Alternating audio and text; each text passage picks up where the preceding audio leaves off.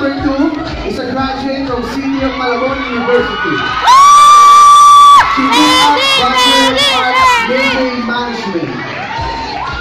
She is a former member of Business Administration Society of her alumni. She is an active officer of Sulukan Youth Organization.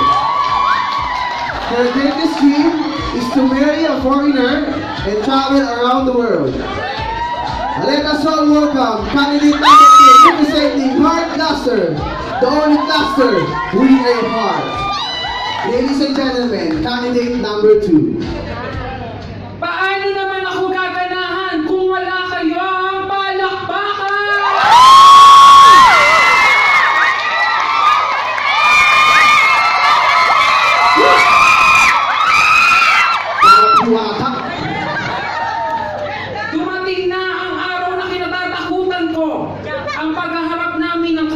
Ko. Ang susunod na kandidata.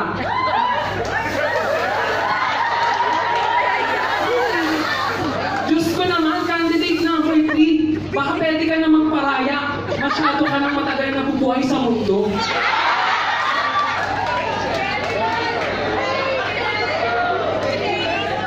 Magandang gabi po sa inyo lahat, at lalo sa ating mga kurado. My name is Nicole Marie Montesilio.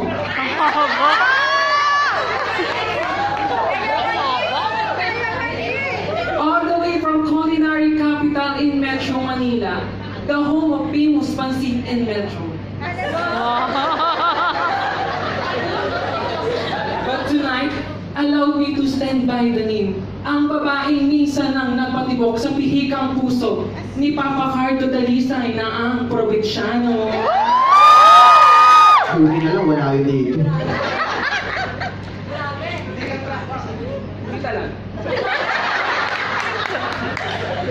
Ang babaeng nagmula pa po sa haligi ng Kapuso Cluster! Sabay-sabay po natin palakpakan at hiyawan ang babaeng Sige. ang babaeng. My name is Yasi. Yasi Taulaba. Yasi Taulaba na nag-iiwan ng mga katagang, aanhin mo pa ang kung ano-anong klaseng droga. Ang shabu, ang cocaine, ang ecstasy, kung sa akin pa lang, sabog ka na.